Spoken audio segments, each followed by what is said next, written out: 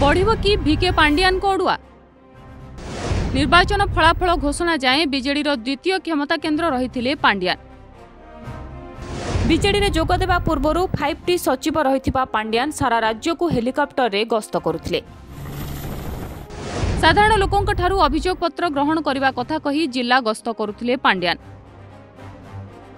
তেবে কেউঠু আসুলা তাঙ্ক হেলিকপ্টর গস্ত খরচ ଖର୍ଚ୍ଚ ଏନେଇ ତଦନ୍ତ ଚାଲିଥିବା ପରିବହନ ମନ୍ତ୍ରୀ ବିଭୂତି ଭୂଷଣ ଜେନା କହିଛନ୍ତି ଚର୍ଚ୍ଚା ହେଉଛି ତଦନ୍ତ ହେଲେ ବଢ଼ିପାରେ ଭିକେ ପାଣ୍ଡିଆନଙ୍କ ଅଡୁଆ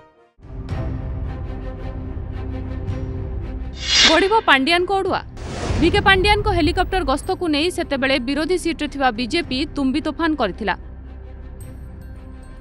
ଏବେ ବିଜେପି କ୍ଷମତାକୁ ଆସିବା ପରେ ହେଲିକପ୍ଟର ଗସ୍ତ ଖର୍ଚ୍ଚକୁ ନେଇ ତଦନ୍ତ ଚାଲିଥିବା ପରିବହନ ମନ୍ତ୍ରୀ ବିଭୂତି ଭୂଷଣ ଜେନା କହିଛନ୍ତି ଜଣେ ବ୍ୟକ୍ତି ସର୍ବସମ୍ମୁଖରେ ରାଜକୋଷକୁ ଲୁଣ୍ଠନ କରିବା ଗ୍ରହଣୀୟ ନୁହେଁ ରାଜ୍ୟ ସରକାରଙ୍କ ପ୍ରାଥମିକତା ହେଉଛି ସୁନ ଦୁର୍ନୀତି ତେଣୁ ଦୁର୍ନୀତିକୁ କୌଣସି ମତେ ପ୍ରଶ୍ରୟ ଦିଆଯିବ ନାହିଁ ଏନେଇ ତଦନ୍ତ ପରେ କାର୍ଯ୍ୟାନୁଷ୍ଠାନ ନିଆଯିବ ବୋଲି ମନ୍ତ୍ରୀ କହିଛନ୍ତି କେଉଁଠୁ ଆସୁଥିଲା ଗସ୍ତ ଖର୍ଚ୍ଚ ନିର୍ବାଚନ ପୂର୍ବରୁ ବିଜେଡିର ଦ୍ୱିତୀୟ କ୍ଷମତା କେନ୍ଦ୍ର ଭାବେ ଭିକେ ପାଣ୍ଡିଆନଙ୍କ ନାଁ ଚର୍ଚ୍ଚା ହେଉଥିଲା ସେ ଫାଇଭ୍ ଟି ସଚିବ ଥିବାବେଳେ ବିଭିନ୍ନ ଜିଲ୍ଲା ଗସ୍ତ କରି ଲୋକଙ୍କ ଅଭିଯୋଗର ଶୁଣାଣି କରୁଥିଲେ। ସେତେବେଳେ ତାଙ୍କ ଗସ୍ତ ପାଇଁ କୋଟି କୋଟି ଟଙ୍କା ଖର୍ଚ୍ଚ ହୋଇଥିବା ଅଭିଯୋଗ ହୋଇଥିଲା। ପାଣ୍ଡିଆନଙ୍କ ଓଡ଼ିଶା ଗସ୍ତ ସରିବା ବେଳକୁ ଖର୍ଚ୍ଚ ପ୍ରାୟ ତିନିଶହ କୋଟିରୁ ଅଧିକ ହୋଇଥିବ ବୋଲି ତତ୍କାଳୀନ ବିଜେଡି ବିଧାୟକ ସୌମ୍ୟରଞ୍ଜନ ପଟ୍ଟନାୟକ ଖବରକାଗଜ ସମ୍ପାଦକୀୟରେ ଲେଖିଥିଲେ। ଏନେଇ ବିରୋଧୀ ସ୍ୱର ଉଠାଇବା ପରେ ହିସାବ ଦେଇଥିଲେ ସେତେବେଳର ପରିବହନ ମନ୍ତ୍ରୀ ଟୁକୁନି ସାହୁ।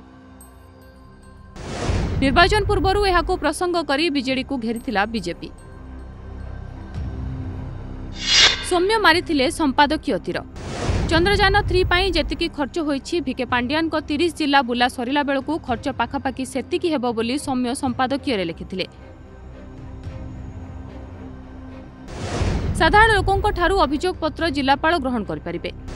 ପ୍ରଯୁକ୍ତି ବିଦ୍ୟା ଯୁଗରେ ଅଭିଯୋଗ ପତ୍ର ଗ୍ରହଣ ବ୍ୟବସ୍ଥା ଆହୁରି ସରଳ। ତେଣୁ ଏତେ ବ୍ୟୟରେ ପାଣ୍ଡିଆନଙ୍କ ଜିଲ୍ଲା ଗସ୍ତକୁ ଆଲେଖ୍ୟରେ ସିଧାସଳଖ ଟାର୍ଗେଟ କରିଥିଲେ ସୌମ୍ୟ। ଏହାପରେ ସୌମ୍ୟଙ୍କୁ ପ୍ରଥମେ ଦଳର ଉପସଭାପତି ପଦ ଓ ପରେ ଦଳରୁ ବହିଷ୍କାର କରିଥିଲା ବିଜେଡି। ବିକେ ପାଣ୍ଡିଆନଙ୍କ ହେଲିକପ୍ଟର ଖର୍ଚ୍ଚକୁ ପ୍ରସଙ୍ଗ କରି ନିର୍ବାଚନ ପୂର୍ବରୁ ବିଜେଡିକୁ ଘେରିଥିଲା ବିଜେପି।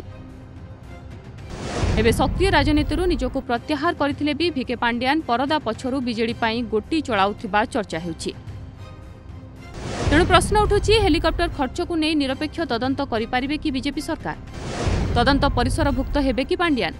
ତଦନ୍ତରେ ଦୋଷୀ ହେଲେ ନିଆଯିବ କି କଡ଼ା କାର୍ଯ୍ୟାନୁଷ୍ଠାନ? ବ୍ୟୁରୋ ରିପୋର୍ଟ ଓଡ଼ିଶା ସମ୍ବାଦ।